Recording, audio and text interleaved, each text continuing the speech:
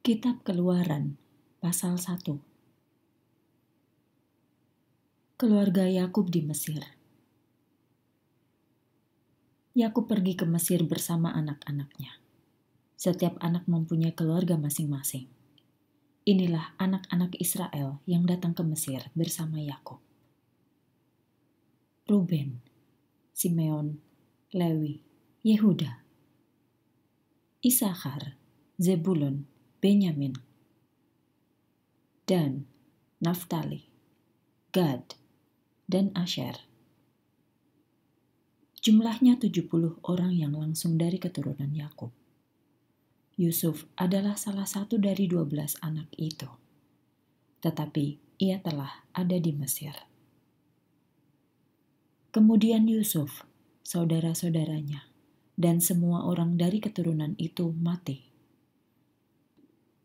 Orang Israel mempunyai banyak anak, dan jumlah mereka terus bertambah. Mereka menjadi kuat, dan negeri Mesir penuh dengan mereka. Kesusahan bagi orang Israel.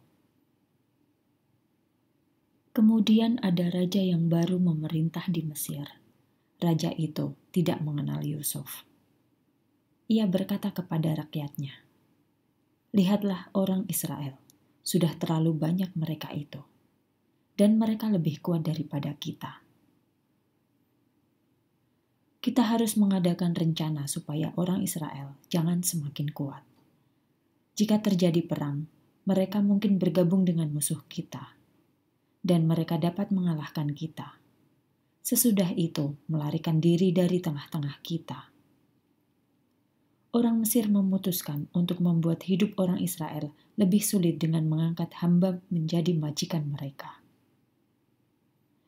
Para majikan memaksa orang Israel membangun kota Pitom dan Rameses bagi raja raja membuat kota-kota itu menjadi penyimpanan gandum dan barang-barang lainnya.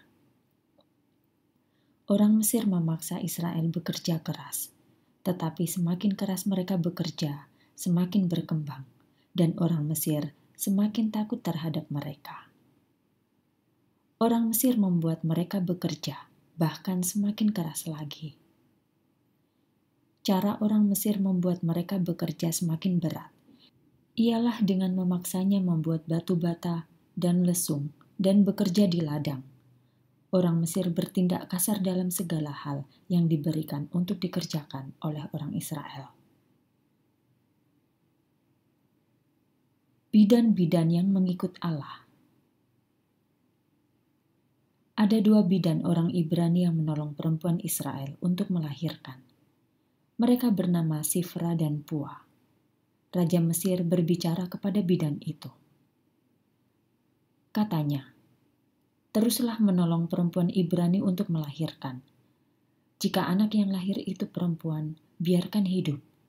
Tetapi jika laki-laki, bunuhlah. Bidan itu percaya kepada Allah. Mereka tidak taat terhadap perintah raja. Mereka membiarkan semua bayi laki-laki hidup Raja Mesir memanggil para bidan itu dan berkata kepada mereka, "Mengapa kamu melakukan hal itu? Mengapa kamu membiarkan bayi laki-laki hidup?" Bidan itu berkata kepada raja, "Perempuan Ibrani lebih kuat daripada perempuan Mesir. Mereka telah melahirkan sebelum kami datang menolongnya." Bidan-bidan percaya kepada Allah, jadi Allah baik terhadap mereka dan membiarkan mereka mempunyai keluarganya sendiri. Orang Ibrani terus bertambah, dan mereka sangat kuat. Firaun memberikan perintah kepada rakyatnya: "Jika perempuan Ibrani melahirkan bayi perempuan, biarkan hidup. Tetapi jika mereka mempunyai bayi laki-laki, buanglah itu ke Sungai Nil."